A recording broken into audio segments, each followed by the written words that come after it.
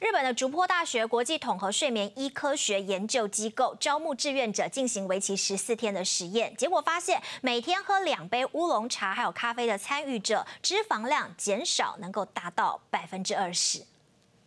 为了解乌龙茶、咖啡对睡眠、脂肪与人体代谢率的影响，日本筑波大学国际统合睡眠医科学研究机构招募十二名志愿者，分成三组参与研究。第一组在早餐与午餐各饮用一杯乌龙茶，第二组在早餐与午餐各饮用一杯咖啡，第三组在早餐与午餐各摄取一杯安慰剂。实验期间十四天，结果发现，相较于摄取安慰剂的对照组，乌龙茶与咖啡在不影响二十四小时内的能量代谢下，都能让实验者的脂肪分解增加百分之二十。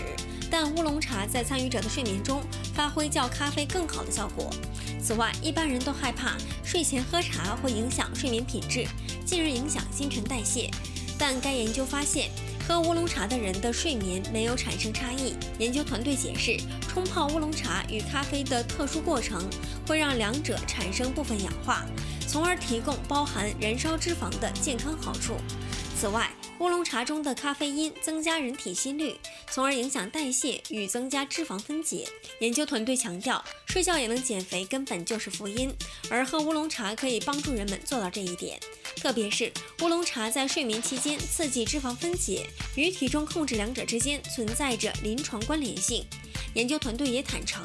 这次实验仅有两星期，未来还需实验证实乌龙茶是否能长期促成体脂肪减少。此外，研究团队未来也会尝试使用无咖啡因的乌龙茶，以区分咖啡因与茶叶中其他成分的作用，进而更精准地了解乌龙茶是如何协助脂肪分解的。中天中望整理报道。